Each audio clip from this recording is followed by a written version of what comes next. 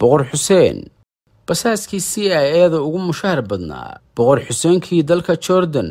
ayaa noqday basaaskii ugu caansanaa ugu halista badnaa ee bariga dhexe uga shaqeeya hay'adda sirdoonka maraykanka ee c i a. Wargeyska washington post ayaa daabacay ciwaankan oo uu micnihiisu yahay c i a waxay malaayiin doolar siisay boqorkii urdun boqor xuseen. Februari siddeed tobankeedii kun sagaal boqol toddobaatan iyo toddobadii oo warbixintan la daabacay agaasimaha wargeyska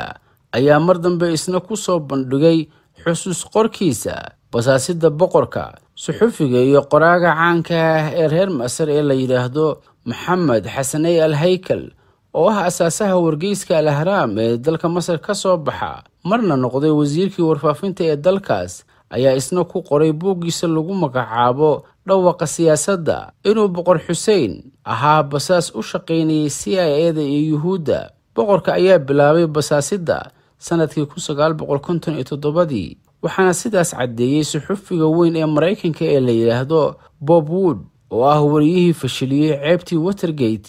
ee ku dhacday madaxweynihii maraykanka ee richard nixon. Waxaana uu sheegay in boqor xuseen uu u gudbiyey hay'adda sirdoonka yuhuudda ee muusaad diyaargarowgii masar ee ka tallaabistii kanaalka dagaalkii kun sagaal boqol toddobaatan iyo saddexdii ee dhex maray carabta iyo israa'iil boqor xuseenkii urdun ayaa hay'adda sirdoonka maraykanka ee c i a bil kasta siin jirtay hal milyan oo dollar iyadoo markii dambe uu wax yar ka dhimay madaxweynihii maraykanka ee jimi carter. Magaca hay'adda c i a uu boqor xuseen ku howlgeli jiray ayaa ahaa master beef magacaas oo ku jira tobanka basaas ee ugu caansanaa c i a waxyaabihii ugu weynaana u qabtay taasoo uu ku khiyaamay ummaddiisa carbeed